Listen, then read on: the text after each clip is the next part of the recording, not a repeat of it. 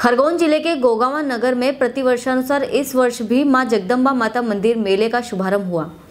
मेला एक माह तक चलेगा। जगदम्बा माता मेला पिछले सत्तर के दशक से लगता आ रहा है। मेला मंगलवार 17 दिसंबर से 7 जनवरी 2020 तक चलेगा।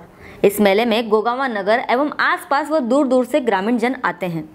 गोगांव में लगने वाला जगदम्बा माता मेले में सबसे प्रसिद्ध पशु बाज़ार है। इस बाज़ार में बहुत दूर दूर से पशुओं को बेचने व खरीदने के लिए किसान एवं व्यापारी पहुँचते हैं।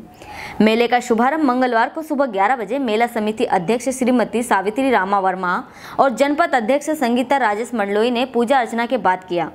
मेले में विशेषकर बच्चों के लिए झूले और खिलौनों की दुकानें लगती है, जो विशेष आकर्षण का केंद्र होती है। लोग मेले में पहुंचकर सबसे पहले माता जी के मंदिर में पहुंचकर माता के दर्शन का लाभ लेते हैं, उसके बाद मेले का आनंद उठाते हैं। गोगांव से इकबाल हकीम की रिपोर्ट।